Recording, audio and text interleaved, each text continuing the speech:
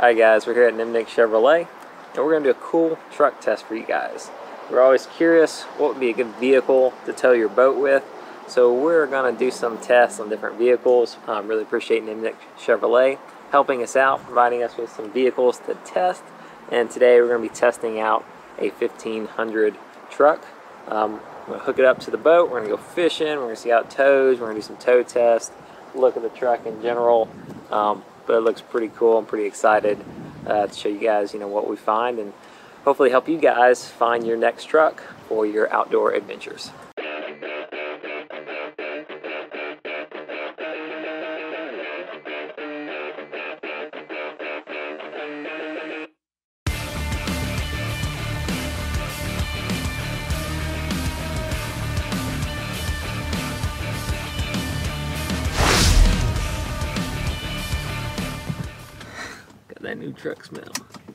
Wow, this is pretty cool.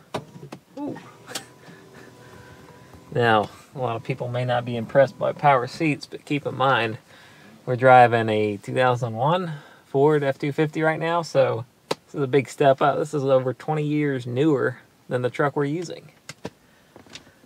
It's, there's not even a key to turn it on. You press a button. There we go. Very cool. Um, so, driving watch see my tire pressure. Wow, look at the size of that screen. You could watch Reel Hazardous YouTube videos on this bad boy. It's, it's Look. just, the rear view. oh, thanks, yeah. Ooh, that's interesting. Okay, how do we get out of here? Right here. You're right. Yes. Super nervous. I do not want to to damage this brand new car. So guys, one thing to note during this test, um, a lot of times we're going to compare it to our old diesel. We have a F250 7.3 liter diesel 2001, I think. Um, it's not a truck for truck comparison. We're not doing, you know, which which models better. They're totally different models, totally different brands, way different in years.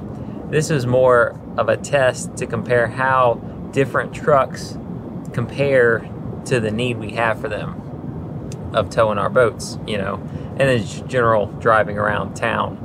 You know, obviously you can get the biggest, heaviest truck you can find and it's going to tow great, but it may not be practical to get the biggest and heaviest. So we're just looking at different truck models to see, you know, what does the job we need it to um, and how it does riding around town. And then just since a lot of people are familiar with the F-250, the old 7.3, you know, we're going to make comparisons to that as well in case you have a similar truck and you're wondering what a, a different truck like this would do. It seems to have pretty decent uh, power. Of course, I'm only going 28 miles an hour. So, So the turning radius was pretty good. I went down Kalis cul-de-sac. oh yeah, Yeah. not like my truck where it takes like three blocks to turn it around. That's pretty neat. To, where you can see like how fast you're going Yeah. in the windshield. So it has that display. So when the police stopped you, I have no idea how fast I was going. Liar! You're constantly watching it. Yeah, so pretty much just takes away every excuse you could do for like violating the law. You know, I couldn't see what was behind me. Wrong. Couldn't see what was beside me. So probably the first thing you should do when you get on these things is know what all the buttons are. It's like flying a jumbo 747 at this point. Man, I got freaking buttons over here that does all kind of stuff. It tells me my altitude, my air pressure, my Christmas list, and all that other kind of stuff. It just got everything. Now, my truck, you would have had to back up to it on this little cul-de-sac. It rides not like a truck. I mean, kind of a smooth ride to it. So I haven't been too bouncy. Mm. Alright guys, we are pulling our little boat, uh, the 21.7 Blazer Bay. So this is a bay boat, not super heavy, kind of a good medium, you know, lightweight test before we pull the big 30 foot contender. Now we're still getting used to the electronics, but it is very cool um, how it's got like this whole big display. You know, you can look at your trailer feature like if there's a problem with your turn signal with your with your trailer lights you can see it on this display um, got a little warning light for my right turn signal So it's pretty neat. I can see uh, trip fuel economy, trailer things, backing it up with that lights easy. And what's really cool about this truck that I've noticed is there's even lights and or sorry lights or cameras in the front. There's lights and cameras in the front of the truck. So when I'm pulling out, you know, trucks are big. It's sometimes hard to see what's right in front of you, especially if it's small, low to the ground. You can see it on your display. Um, our gate isn't huge, so sometimes it can be tricky getting in and out. But with that camera, it makes it really easy. And then you don't yell at your significant other when you're trying to back up because you can see where you're going. You don't have to depend on them to go. You can see it all. On the camera. Got a real windy day and we're not getting any sway from the wind like we do sometimes with the other truck. Big trailer knows that um, after you bust a couple tires out from hitting concrete um, curbs and Mm-hmm. you know rub the side of your boat down a rail or something, that you make wide turns when you, you turn. So that was a super cool feature. Didn't know about that either. When we turned, put our turn signal on, get ready to turn it, it showed a camera pointing back at our trailer, the side that we're turning. So the screen up front actually, we could see, you know, if our trailer, you know, because a lot of times when you turn with the trailer, you got to make a wider turn. Can't turn like normal because that back trailer will hit whatever, you know, you're turning the curb or something. But what's cool about this is that the truck showed on the display you know, you could see the whole side of the trailer. You could see if your turn was wide enough, if you're going to hit anything, you could stop if you need to. If Um, a vehicle's beside you. Yeah, if there's a vehicle beside you, whatever the case. Um, really helpful feature when towing stuff. If you're new at pulling a trailer, that checklist is definitely something to go by because things that you don't think about, like the air pressure on the tires, um, safety chain it hooked up, little things that um, you don't really think about. A lot of people think you just back up, and hook it down. Some of them even forget to pop down the uh, lock on the trailer hitch ball. And then not only did we put, put a lock on- or pop it down, but then we put a bolt to it so that that fast blink that tells you that you got an issue there. With your right turn signal, whether it be on the truck or on the trailer.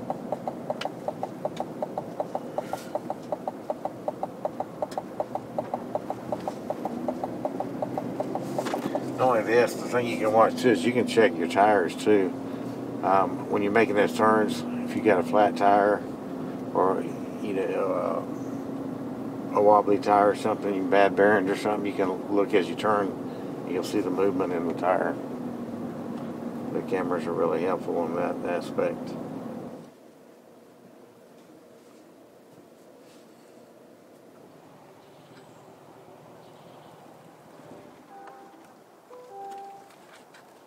So what'd you think? So far, so good. Thinks I'm about to have a collision. Alright, guys, we've been towing the boat this morning, getting ready to get to the ramp, see how it does launching. Get some uh, some more shots this uh, afternoon when it's a little lighter. Show you guys what it can do. But uh, so far, it's uh, doing good. About to see if we can go catch some fish.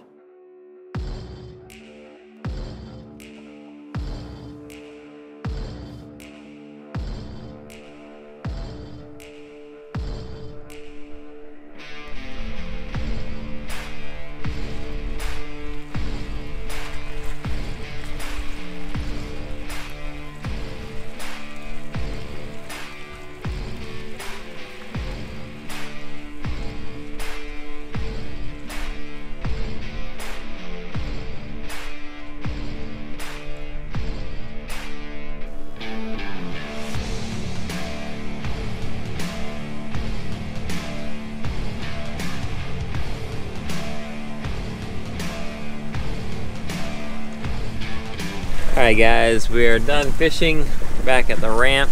So now it's time to load it up. So we're gonna see how this bad boy uh, truck does pulling out this boat.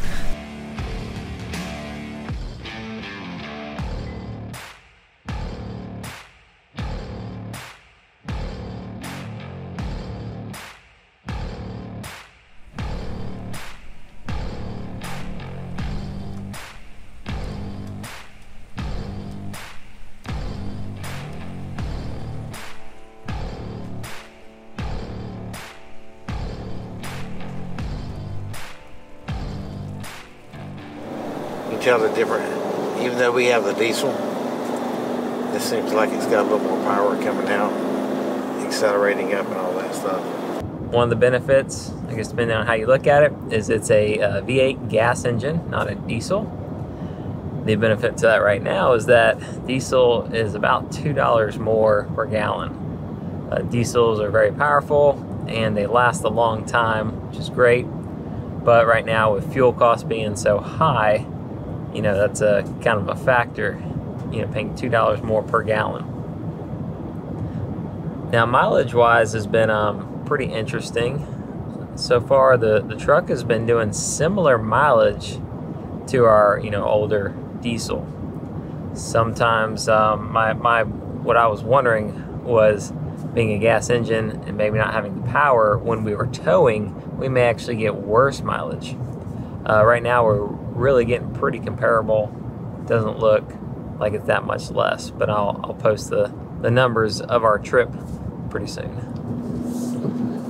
Another thing that you, when you're thinking about buying a truck, is what's how much different uses are, will you have with it? Will it be one that takes you around town? Will it be something you only use on the weekends to pull your boat?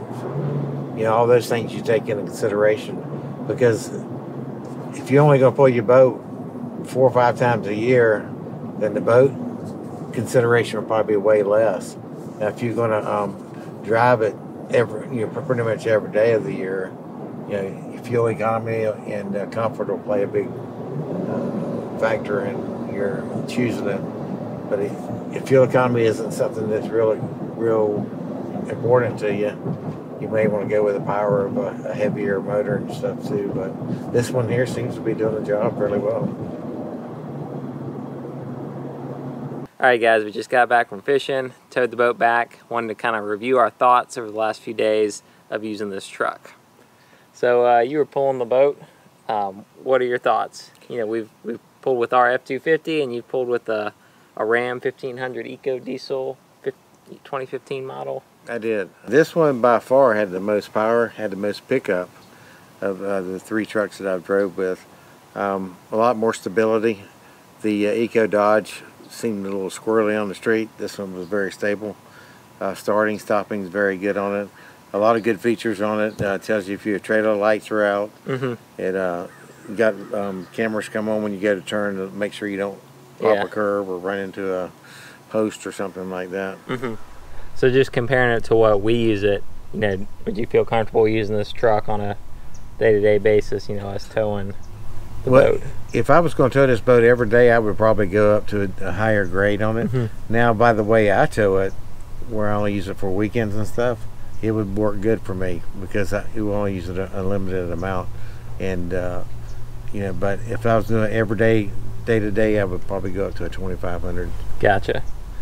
So those are my thoughts for let me know if, if you would agree. Like, I wouldn't tow any bigger boat than this. No, no, this I think would probably be the max range right. for this truck. I agree. This is the 27 contenders about as far as, as much as you want to put on this, and it was right in that towing window of what they they um they said that you could max tow on. Right. Yeah. So this this was at the max range of the towing capacity. We had a little room to spare, but still, um, probably if you got a bigger boat.